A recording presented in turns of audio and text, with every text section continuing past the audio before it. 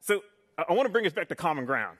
I'll talk about a topic I'm pretty sure we can all identify with. This is one of my personal favorite topics. um, I like money. I, am not being paid to speak today, but uh, in my normal day to day life, I do get paid. Uh, I'm a big fan of getting paid. I'm also a big fan of other people getting paid. Uh, you know, at Square, we think deeply about this notion about economic empowerment and allowing more people that maybe previously could not participate in the economy to get paid within the economy, to actually participate, to actually be able to actually have commerce and opportunities that they could not previously. Oftentimes, you'll find these like you know small individual you know, entrepreneurs who are fairly new to commerce in some cases, and they share something in common with me. I hate having my money stolen. I hate also seeing other people have their money stolen. And, and so, you know, I go back to some of the things that we think about when it you know, comes to actually making commerce work and those small business owners, you know, the, the person who's, you know, just starting up a bodega on a corner shop or, you know, maybe that, you know, one, you know, crazy hippie friend of yours that decides going to be selling beads on the sidewalk, etc. How do you actually allow them to do the common things we think of when it comes to commerce? Often when you actually go into a store, this is your interaction with the person who's at the, you know, the front counter. You think about that coffee shop, right? Like, what are the things that a person inside of a coffee shop has to think about? And, and then take a step back. What are the things that a person in a coffee shop should be thinking about?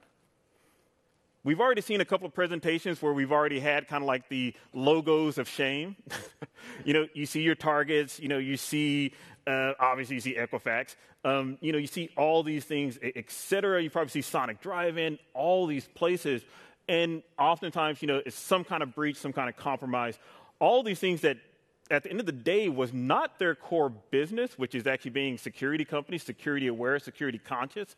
And instead, their core business was actually selling you, you know, random stuff from Target, selling you a really unhealthy cheeseburger from Sonic, all these other kind of things. And, and I really, you know, that resonates with me because I think about the person running a coffee shop. So I see lots of coffee cups here. So I know we have a lot of coffee drinkers.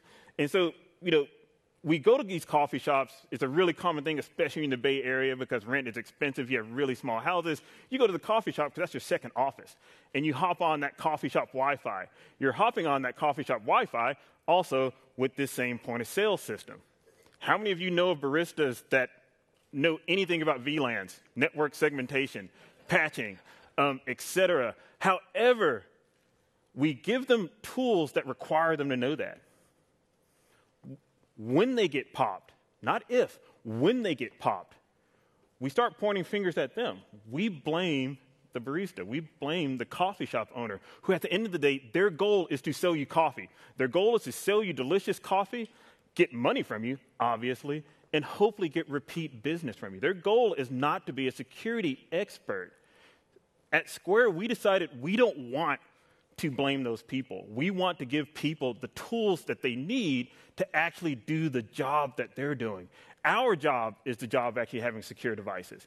Our job is about making you know, infrastructure and security and software that actually meets those users where they are. If you're a coffee shop owner and you want to take credit cards, you can just buy a Square reader. You can get you know, the little magstripe readers for free and if you just saw our big announcement yesterday, you can even get one of the more you know, fancier displays. At the end of the day, though, you don't have to actually think about security. You don't know, have to know anything about cert pinning. You don't know, have to know anything about TLS. You don't have to know anything about just general patching and those kind of things. You just have to think about and focus on making delicious hipster coffee so those obnoxious San Franciscos will come back to your shop again, right? Those are the things, and those are the things that you should be thinking of as a coffee shop owner, making coffee.